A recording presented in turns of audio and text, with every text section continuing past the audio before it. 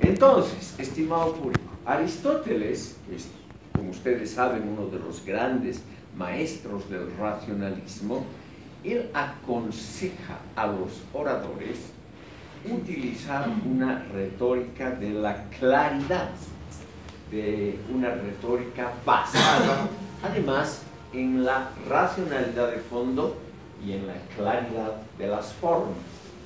Pero él además dice, es claro que los oradores van a usar sobre todo temas y formulaciones que tratan de gustar al público, que aparentemente se acercan a las necesidades del público oyente, aparentemente, pero que en el fondo están destinadas a manipular los sentimientos del público en favor de metas que el no puede discernir claramente. Esas metas son las metas particulares del orador. Aristóteles ya vio hace 2400 años que la mayoría de los oradores usan lo que yo recomiendo a ustedes si es que se van a dedicar a la sucia actividad de la política, hacer pasar intereses particulares de ustedes como si fuesen intereses generales de la colectividad. Entonces, aquí Aristóteles realmente ha hecho una labor que no es absolutamente original, pero podríamos nosotros, y aquí cierro este brevísimo capítulo, podríamos calificar como el primer intento analítico, estimado público, de analizar el trasfondo de los discursos políticos que no es lo que el orador lo que el orador quiere hacer creer, sino lo que él quiere lograr por medio de ardides, es decir, de habilidades, de artimañas político-retóricas para convencer al, al, al pueblo, al público que lo escucha, de algo que a tal vez va en contra de los intereses del que escucha. Finalmente, Aristóteles dio algunos consejos interesantes, por ejemplo, sobre el uso de las metáforas. Él dijo, las metáforas impulsan el conocimiento porque causan en primer lugar sorpresa, extrañeza, pero luego nos muestran un lado posiblemente agradable del asunto tratado y establecen lo que se puede llamar una ganancia pseudo-cognoscitiva en favor del orador. O sea, estimado público, dicho en palabras muy simples, usen ustedes metáforas que puedan ser del agrado del público, que el público las vea con una sorpresa agradable y así pueden ustedes manipular de manera más simple el resto del discurso, adelantándose a prácticas muy usuales hoy, Aristóteles también dijo que el uso de chistes, acertijos, adivinanzas, etc., sirve evidentemente para dar soltura a un discurso, pero también para ocultar las verdaderas intenciones de aquel que quiere manipular a las masas. Como ven ustedes, Aristóteles con la retórica ha contribuido a lo que podríamos llamar hoy una teoría de la comunicación que en líneas generales sigue vigente hoy. Por eso es el hecho que nos puede parecer paradójico en primera instancia, estimado público, que la breve obra de la retórica aristotélica ha ganado en importancia en las últimas décadas. Algo similar se puede afirmar en grado menor de la poética de Aristóteles.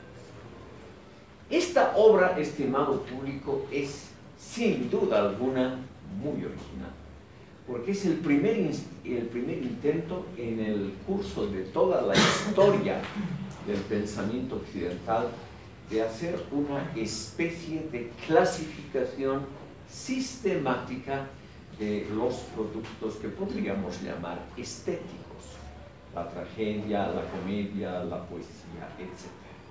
Esta obra de Aristóteles nos ha llegado mutilada hasta hoy, lo cual, lo cual ha pasado con muchas obras de autores clásicos, cuanto más atrás en la historia tenemos testimonios naturalmente defectuosos sobre lo que han escrito nuestros predecesores en el tiempo. Falta la mitad de la poética destinada sobre todo a la comedia y a la función positiva de la risa.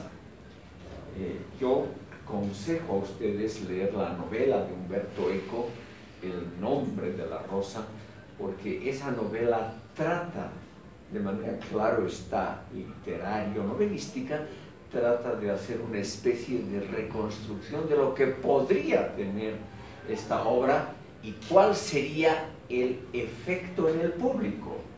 La obra, el único ejemplar, según la novela que existe, el único ejemplar es destruido porque puede producir sentimientos críticos en los lectores, críticos con respecto a autoridades. La risa, eso ya lo vio negativamente el propio Napoleón, la risa es un arma temible, estimado público, cuando se usa en contra de una autoridad.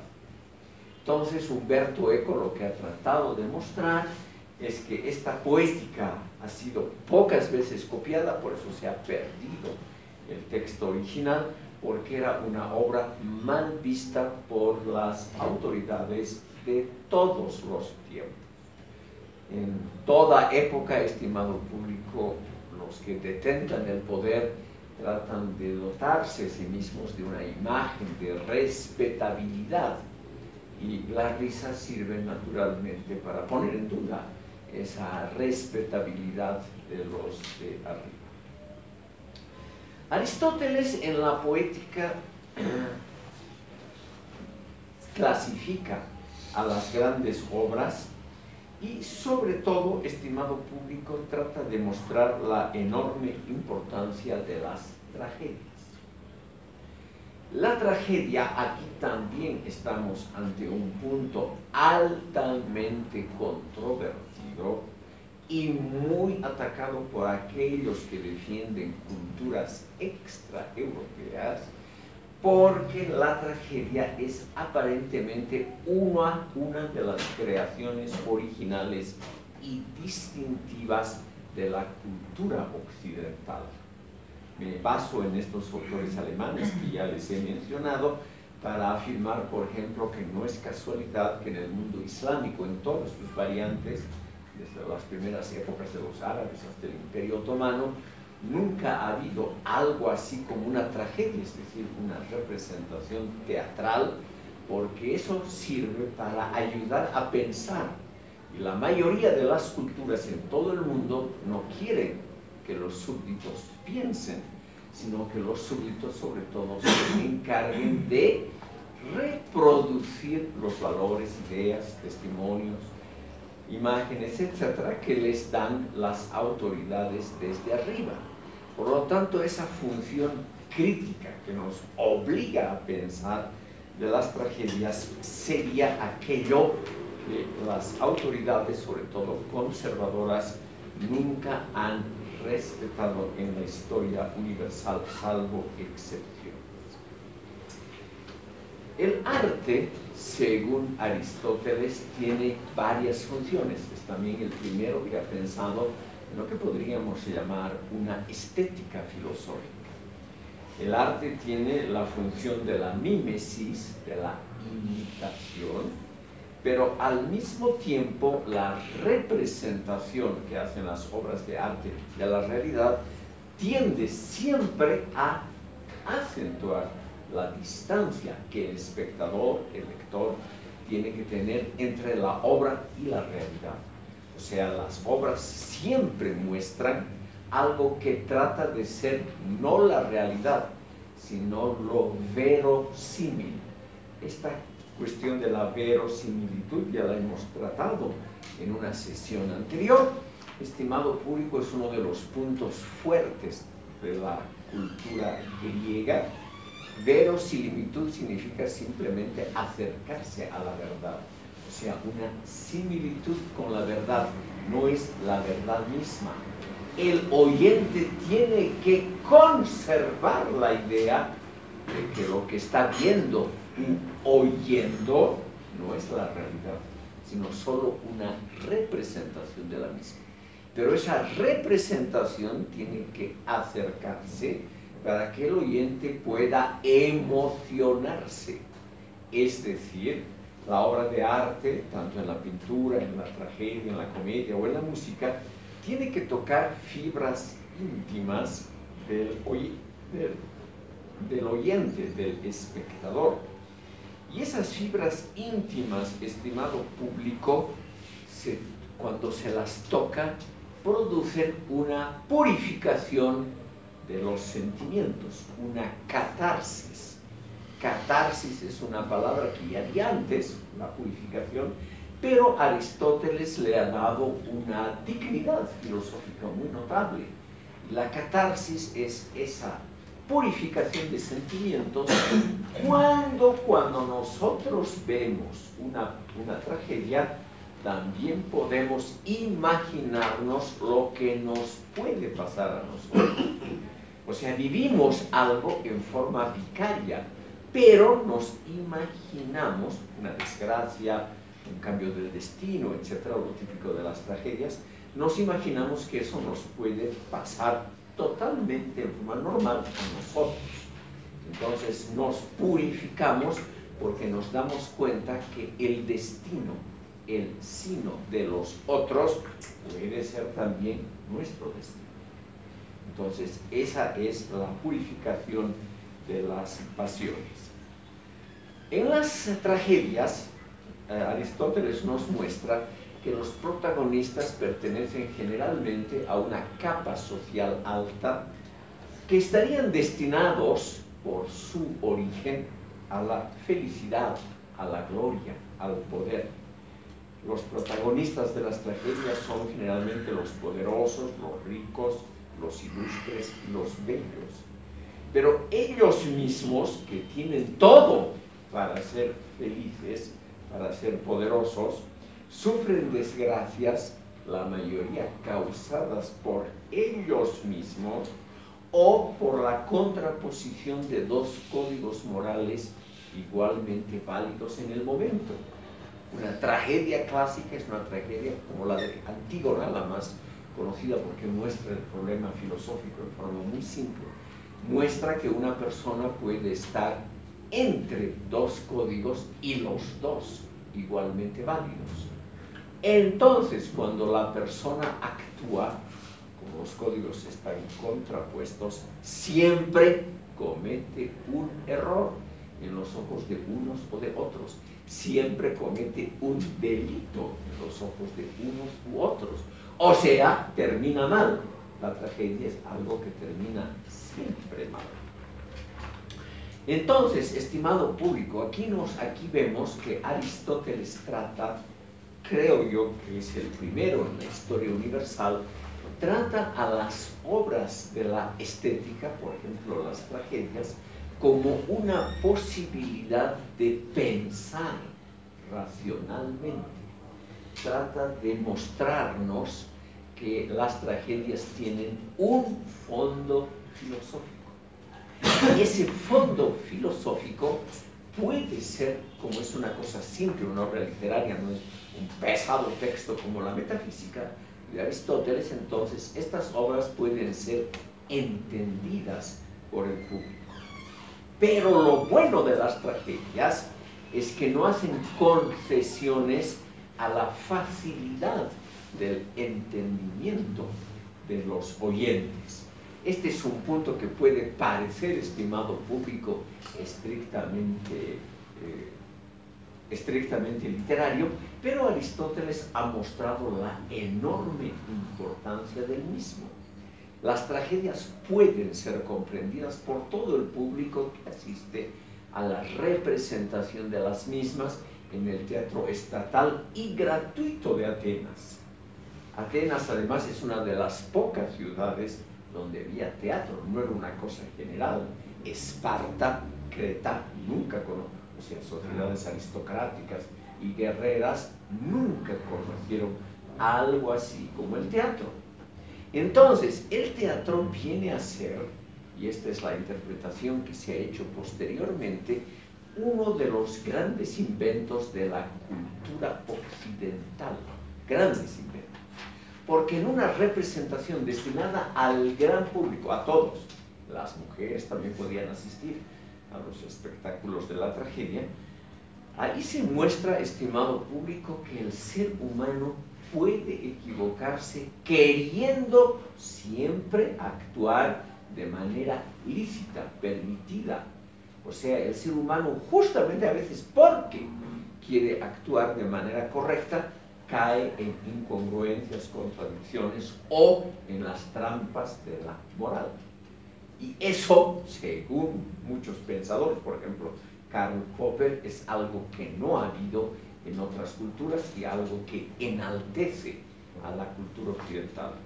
Como se trata obviamente de un juicio donde las otras culturas salen mal paradas, esta, este enaltecimiento del teatro y de la tragedia es naturalmente hoy altamente controvertido. Pero es un, es un elemento interesante para reflexionar. Por ejemplo, ustedes podrían reflexionar ha habido o no teatro en el mundo incaico. Y si no ha habido, ¿por qué? Es un tema muy interesante de reflexión. Por ejemplo, ¿por qué en el mundo islámico, en todos los países sometidos al mundo coránico, ¿por qué no ha habido tragedia, perdón, no ha habido teatro ni cine hasta que ha venido la influencia europea? Solo con la influencia europea es que se ha dado, eso sí, una actividad cinematográfica y teatral muy interesante en el mundo islámico, pero no es una creación que provenga de las raíces de esa cultura. Entonces la pregunta es por qué unas culturas tienen unos ciertos elementos de diversión pública, porque se trata de una diversión, y otras no. Y cómo esa diversión pública puede estar unida a una intención pedagógico-filosófica. Este es el punto central que muchos autores han interpretado, obviamente en favor de la cultura occidental, como la cultura que se pone a sí misma en cuestionamiento. El mostrar que hay dos códigos morales simultáneos es obviamente una muestra de que esa cultura no es lo sólido que debería ser en la representación pública.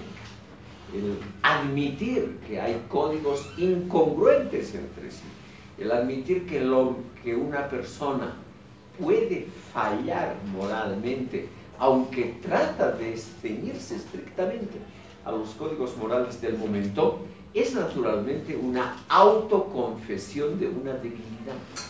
Y esta autoconfesión de una debilidad es al mismo tiempo una fortaleza. O sea, esa cultura se pone en duda. Eso sería lo interesante de las de instituciones como el teatro y la tragedia y uno de los grandes méritos de Aristóteles habría sido poner el dedo en la llaga, en la originalidad de esa gran creación griega. Si no hay ninguna impugnación, que me parece muy curioso, debido a un tema altamente controvertido. Yo me imaginaba en general que justamente estas alusiones a diferencias de culturas iban a concitar aquí severas críticas contra mí, contra el pobre docente. Pasaremos entonces, aquí hay una observación. Usted dice que este libro, no sé si usted solamente o otros sostienen que la comedia no está perdida. ¿Qué pruebas existen y qué, cuáles son los autores que podrían haber o que dicen eso? Eh, como las obras de Aristóteles han sido leídas por mucha gente, en la literatura secundaria, por ejemplo, en resúmenes para las bibliotecas de Alejandría, Antioquia, etc., las grandes bibliotecas, siempre hay pequeños resúmenes sobre la segunda parte, que es la poética. Además se ha perdido también, estimado público, probablemente una parte sobre la poesía, sobre la poesía lírica griega, que tal vez ustedes saben alcanzó un notable nivel en la época presocrática. Eh, no me refiero solo a Teocnis, el gran poeta eh, traducido, por, traducido y comentado por Nietzsche, sino muchos otros, como la gran poetisa Safo, con la que se inicia la poesía femenina y feminista en la historia universal, sino muchos otros pensadores como Anacreonte, pensadores bucólicos, elegíacos. Ha habido muchos poetas en la época presocrática. De todos ellos, estimado público, tenemos solo pequeños fragmentos. Y esos pequeños fragmentos están justamente en esos resúmenes hechos para, por razones pedagógicas, en las grandes bibliotecas de Pérgamo, Alejandría y Antioquía. Por eso sabemos que probablemente no hay ninguna seguridad. Ha habido esa segunda parte o tercera parte de la poética de Aristóteles, es lo que le puedo decir sobre el mal estado de las fuentes. Vamos a ver, estimado público, que el estado de las fuentes va mejorando con el transcurso del tiempo. En esta misma sesión vamos a tratar a Cicerón, el más grande orador que ha dado la cultura romana. Y la obra principal de Cicerón, de República, sobre la cosa pública, sobre la república, esa obra no está completa, no hay ningún manuscrito que nos haya llegado íntegro. Así que para que vean ustedes que obras muy notables de la filosofía simplemente nos faltan. La biblioteca de Alejandría ha sido incendiada dos veces. Una seguramente por los romanos al conquistar Egipto y la segunda por los árabes al conquistar Alejandría cuando vino la primera gran expansión del mundo árabe. Y probablemente tampoco se sabe con seguridad, en esos incendios se perdió una gran parte del acervo universal. Entonces, imagínense ustedes cómo eran los bárbaros germánicos cuando invadieron toda Europa occidental. Estos, los llamaremos estos nobles guerreros, no tenían la más mínima idea del valor de un manuscrito. Ellos cuando mucho podían apreciar el valor del oro o la plata, pero nada más. Ni siquiera podían apreciar el valor de una obra de arte, de una pintura, de una obra de arquitectura. Los bárbaros al tomar el imperio romano, estimado público, que es el tema que vamos a tomar en la segunda parte, destruyeron también todo lo que pudieron, tal vez hasta sin saberlo. Por lo tanto, en la historia de la humanidad se han perdido muchísimas obras. Más bien es una cosa que se acerca a un milagro el hecho de que las obras de Platón y de Aristóteles nos hayan llegado más o menos, más o menos completas, seguramente por la gran cantidad de copias que se hicieron. Entonces un monasterio tiene una copia, otra biblioteca tiene la otra, juntando las diferentes copias se puede a veces rellenar los huecos faltantes. Por ejemplo, el Timeo de Platón, esa gran obra está incompleta.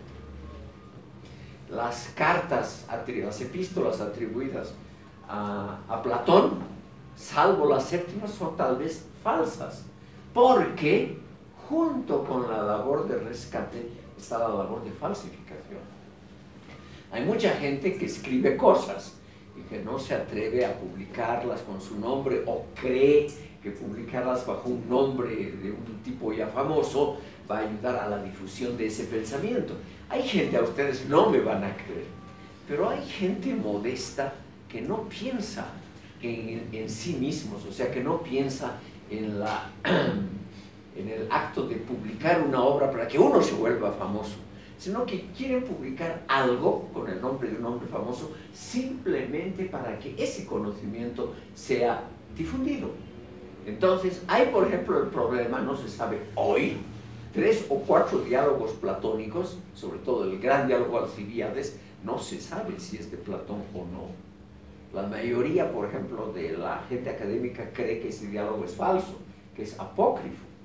Entonces, estamos en, la antigüedad clásica ante un gravísimo problema de fuentes que no puedo que no podemos desarrollar aquí porque no es del tema, pero simplemente yo quiero mostrarles a ustedes la precariedad eh, del estado de las fuentes y la necesidad que tenemos nosotros a veces de rellenar las obras con interpretación. Doctor, pero el tema de la comedia es diferente de la tragedia, ¿cierto? Eh, si bien en la antigua Grecia comenzó con la comedia, eh, al igual que la tragedia tiene un fin trágico, la comedia, si bien tiene una parte trágica, tiene un fin feliz. Entonces no se puede confundir tragedia con comedia. No, nadie dice que se pueda confundir.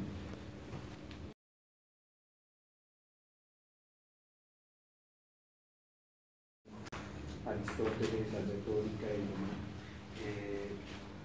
me parece que este problema de la retórica debemos hacerlo contextual y creo que a partir de lo que se nos ha afirmado decir lo siguiente respecto de la política. Es un tema que atinge en cierta medida nuestra labor como pensadores, ¿no?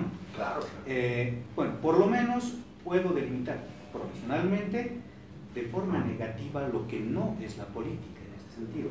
Entonces, lo primero es, la verdad no es parte de los atributos de la, de la política. Y la segunda es que la verdad es impotente, por lo menos en el campo de la política. Y las dudas que me surgen en este momento a partir de estas dos es que, ¿cuál sería la eficacia de la verdad en política? Y plantear tal vez otras posibilidades más que puedan llegarnos a dar atisbos de qué es la política, digamos, eh, em, es legítimo decir siempre la verdad en política qué clase de poder tiene la verdad en política.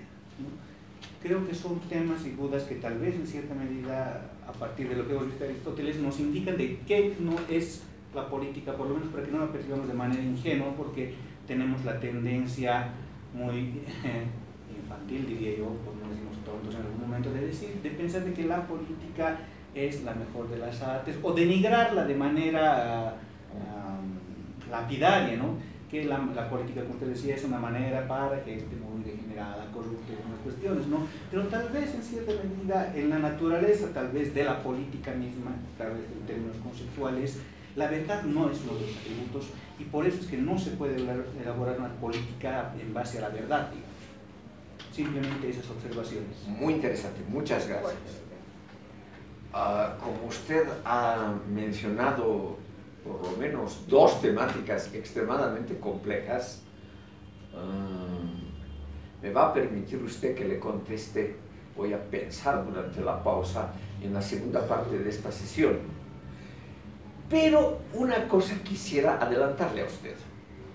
Aristóteles evidentemente era un tipo algo ingenuo en relación a la política.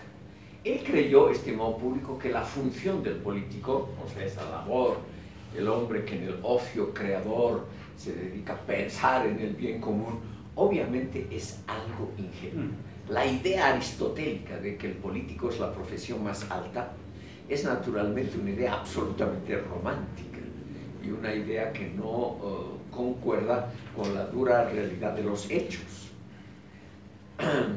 En eso podríamos decir que Aristóteles representa una opinión muy circunstanciada, es decir, estimado público, muy ligada al contexto de la antigua polis, sobre todo de la antigua polis del tipo Atenas, eh, Corinto y las ciudades de la costa, que no corresponde a cómo se hacía política en las otras ciudades griegas. En las otras ciudades griegas, por ejemplo, el caso más claro en Macedonia, nunca hubo una discusión racional y al mismo tiempo pública sobre asuntos eh, que conciernen a la totalidad de la nación. Jamás. Eran monarquías absolutas y no había la tradición de la discusión, como seguramente, poniéndome en una posición eurocéntrica cercana a Aristóteles, yo también pensaría que en Asiria, Persia, Babilonia y Egipto nunca ha habido una discusión pública, racional, como ha habido en la Atenas clásica. Pero eso le ha producido a Aristóteles una idea para mí que en su generalidad es equivocada. Lo que usted ha mencionado, la idea de que la política en, el fondo es una cosa que tiene que ver con el descubrimiento de una verdad pública, de una verdad para la comunidad. Y realmente la política se dedica a otras cosas, el poder, la consecución, la conservación del poder, como lo ha mostrado Maquiavelo, etc. Y no necesariamente para descubrir la verdad. Si ustedes leen El Príncipe de Maquiavelo, cosa que recomiendo porque es una obra muy breve de 100 páginas que la vamos a tratar, ustedes van a ver que la palabra verdad no juega ningún rol, es decir, no tiene ningún sentido hablar de verdad porque ahí se trata simplemente de la conquista, consolidación, mantenimiento del poder. En eso usted tiene razón en poner en duda. Pero yo quisiera ingenuamente defender a Aristóteles en un punto. Si la verdad, perdón, si la política corta toda vinculación con la verdad, toda, se dedica, se la definimos solo como una técnica para la conservación del poder o una técnica para servir a intereses grupales dentro de un juego interminable por gobernar, etc., entonces la política se convierte solo en un juego eh, instrumental de intereses y pierde toda dimensión de algo que vaya más allá de los intereses particulares. Por lo tanto, creo yo, aquí interpretando a Aristóteles, que la política debe tener alguna conexión con valores universales como el bien común. Entonces, creo yo que discernir qué es el bien común es evidentemente una función del político y del pensador político. Otra cosa es que rara vez se hace.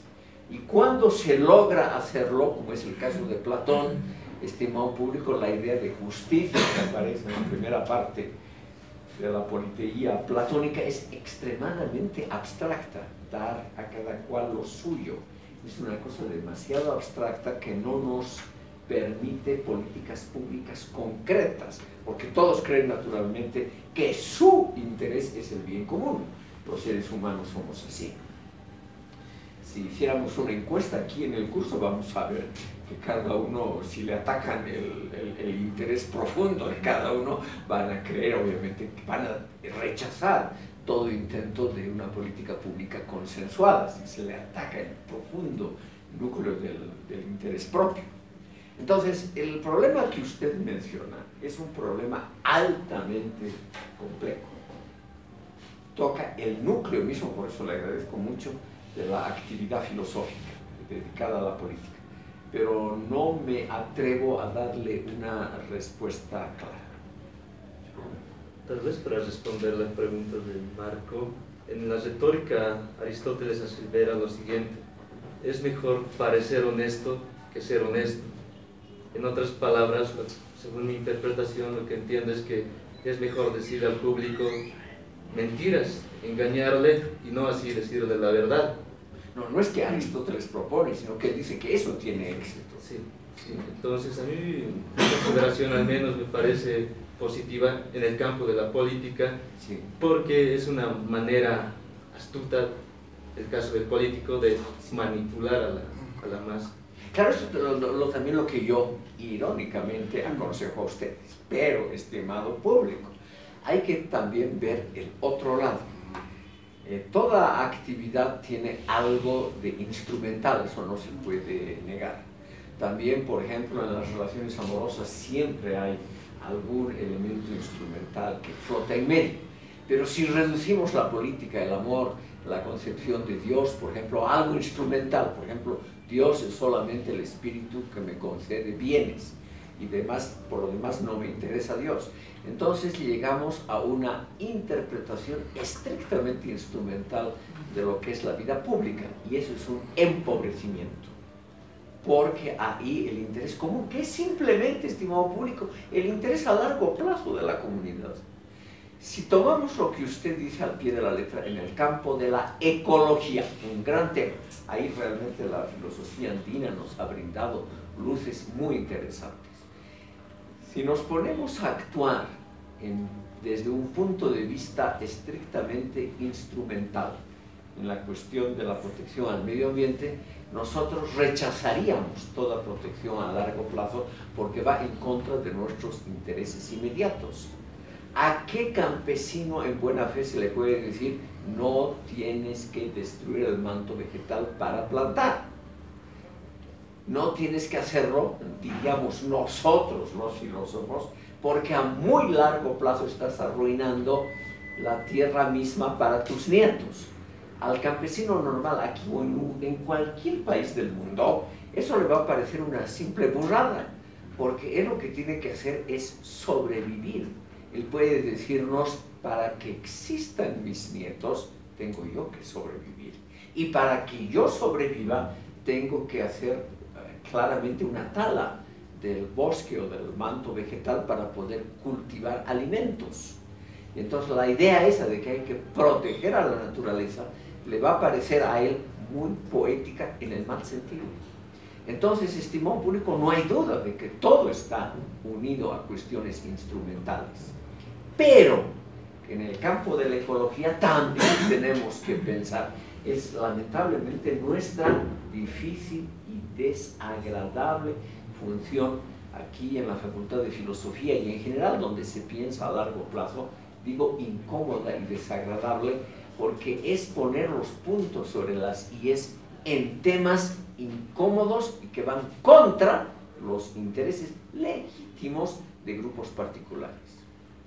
Sí, bueno, ahora eh, también un poco del lado de Aristóteles podría pensar lo siguiente, de que la política evidentemente no se puede reducir a lo que es la astucia del individuo de su grupo, evidentemente, porque si se reduciría a una manera instrumental y de astucia, impediría lo que Aristóteles aperturaba, lo que es, digamos, un salto teórico reflexivo de lo que es la teoría política. Por lo menos en el campo de, los saberes, hay una reducción. Sí. Eh, estamos, estimado público, yo por eso agradezco a estas, estos dos eh, oyentes que han puesto sobre el tapete de la discusión temas interesantes. Yo agradezco mucho esta participación. Estamos en el núcleo de la filosofía política. Eso vamos a ver cuando hagamos un resumen en la última sesión.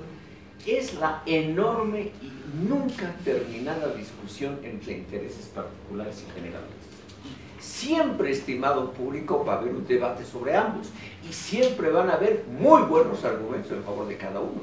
Como por ejemplo el argumento que nos puede decir, repitiendo lo que ya dije, el el campesino más ignorante nos puede decir, ¿para qué diablos voy a proteger una arboleda que solamente sirve para dar sombra si, como tú dime, por ejemplo, dirigiéndose a mí, si tú me dices que hay que pensar en los nietos, los nietos van a nacer solo si mi vida está asegurada y la vida de mis hijos.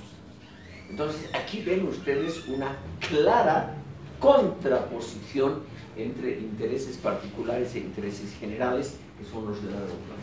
Y eso, estimado público, es probablemente insoluble, lo cual también tiene su buen lado. Siempre va a haber un tema para reflexionar filosóficamente y ustedes van a tener alguna posibilidad laboral de trabajo, porque siempre va a haber un tema que discutir. Si todo estuviese ya claro y discutido, si Aristóteles hubiera dicho la última palabra, todo, estimado público, nos hubiera dejado sin trabajo. ¿no es cierto? Entonces lo bueno, lo bueno de Aristóteles y de estos autores es que no llegan a soluciones totalmente satisfactorias, solamente nos ayudan a pensar. a partir de su último comentario, parece ser que los temas eh, de reflexión, los conflictos, no han cambiado desde, digamos, la época griega, medieval, hasta llegar a nuestros tiempos, porque aún los temas de política son los mismos los casi, casi, casi los mismos, con ciertas variaciones, más, un poco más complejos, ¿no? Eh, los que tienen, los contra los que no tienen, los, los pocos contra los muchos. Los que hoy hay las enormes clases medias. Justamente, la, aparición de estas clases mixtas que no se daban en ese época. Es una cosa muy nueva. Mm. Entonces, claro, ahí tenemos un nuevo tema, que es extremadamente interesante. Estimado público, por cuestiones de tiempo, pero... Analizando la retórica después del orador o del líder o del que va a presentar a un grupo alguna idea, Alguien escribió, si no Nikos Kulasas, que la política es el camino más directo para tomar el poder. Es lo que indica eh, en un libro que tiene. Entonces, la retórica la poética se juntan. ¿Para qué? Para que ese liderazgo o lo que sea tome el poder de los grupos que están eh. Como estamos ya en el siglo XXI, estimado público, ya podemos analizar con alguna distancia que siempre es necesaria a los experimentos y a los pensadores del siglo XX. Y también podemos ver que esas ideas leninistas, todo está en el poder, que también es una idea que está en Mao Zedong y otros, lo que está fuera del poder no sirve. Todo eso, estimado público, en los por lo menos 20 experimentos socialistas que ha habido durante el siglo XX, todos ellos han terminado, sin ninguna excepción, todos ellos han terminado bastante mal. El único que subsiste más o menos puro es el régimen de Corea del Norte y no creo que sea un ejemplo de positividad en ningún punto. Además, ustedes como filósofos estarían perdidos en un régimen que ha prohibido justamente el estudio de la filosofía en las universidades de Corea del Norte en las dos que han quedado. Entonces, estimado público, eh, esa idea de que hay que pensar solo en la toma del poder y que el pensamiento tiene que ayudarnos a pensar cómo es el camino más fácil para la toma del poder, esa idea, creo yo, ha sido por lo menos desvirtuada o debilitada por el propio desarrollo de los países eh, socialistas durante el siglo XX que han terminado relativamente mal. Si ustedes piensan, solo quiero mostrarles un ejemplo menor, como es Vietnam, porque ha salido ayer y antes de ayer en las noticias, Vietnam es hoy el país que produce, relativamente a su pequeña población de 80 millones, la mayor cantidad de millonarios, o sea, de empresarios muy exitosos. Todos estos millonarios vietnamitas son miembros del Partido Comunista, si no, no podrían ni siquiera empezar ninguna actividad empresarial. Y hace escasos, estimado público, 40 años, ese pueblo perdió 3 o 4 millones de habitantes para construir un régimen socialista puro.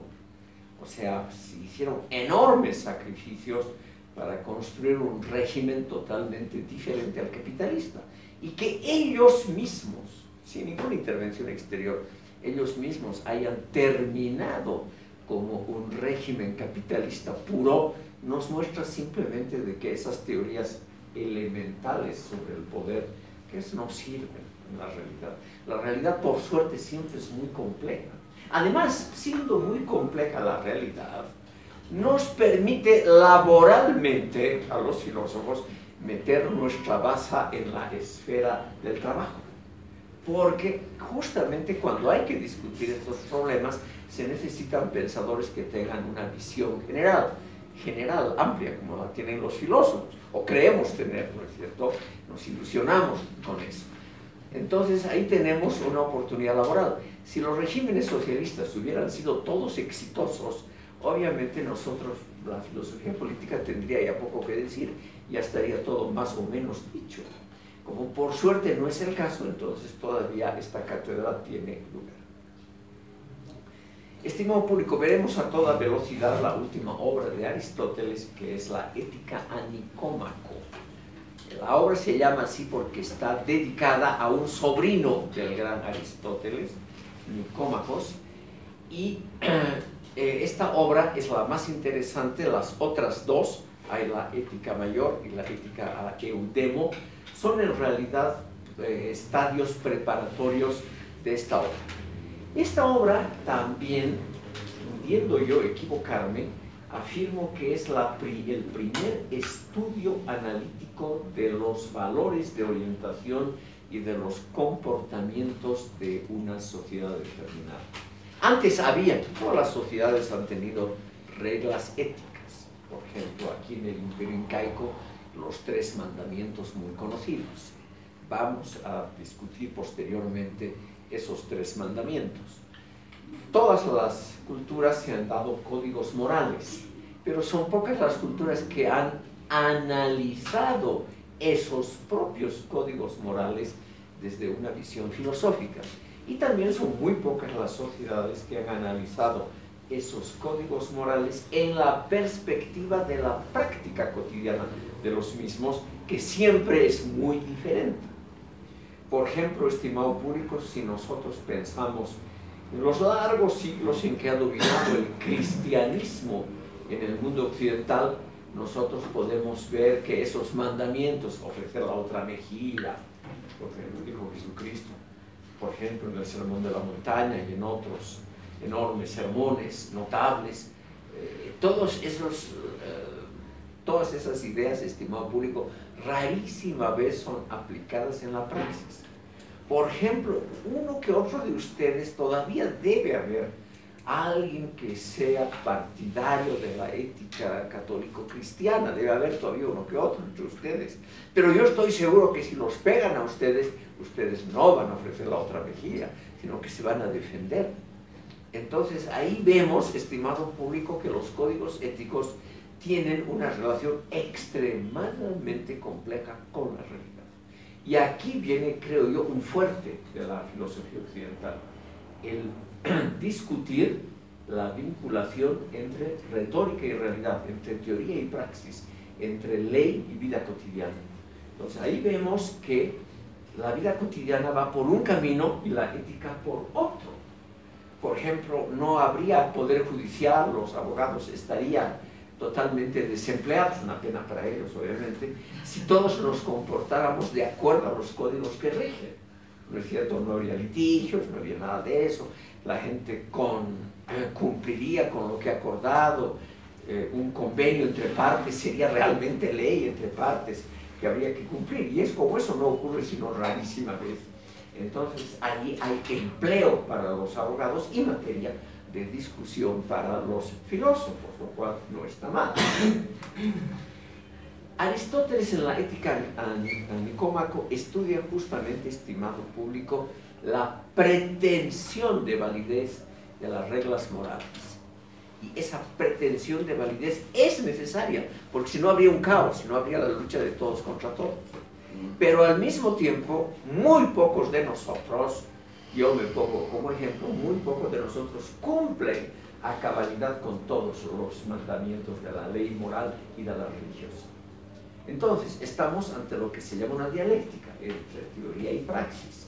La teoría, el reglamento moral es necesario, porque si no estaríamos en la anarquía completa. Pero al mismo tiempo nadie realmente puede cumplir con todos los mandamientos porque también atacaría sus propios intereses. Hay necesidad de abogados. Claro, entonces hay lamentablemente necesidad de abogados, claro. No hay duda de eso. Siempre ha habido el Poder Judicial, aunque esté en las primeras épocas de la historia de la humanidad muy mal esbozado, tal vez era una parte del Ejecutivo, pero por ejemplo, como les he contado en la primera sesión, los himnos sumerios ya hacen mención de que jueces y juzgados son lo más corrupto de todo el aparato estatal. O sea, desde el mismo comienzo en que hay escritura, estimado público, hay quejas sobre el mal funcionamiento del poder encargado justamente de hacer prevalecer la ley y la moral. Y eso es un tema estrictamente filosófico. ¿Por qué es así? ¿Por qué nos comportamos así? Entonces, eh, la ética nicómaco tiene para mí el gran valor, estimado público, de haber puesto sobre el tapete de la discusión analítica esa dialéctica entre los valores normativos de orientación y la vida cotidiana que no va siempre en contra de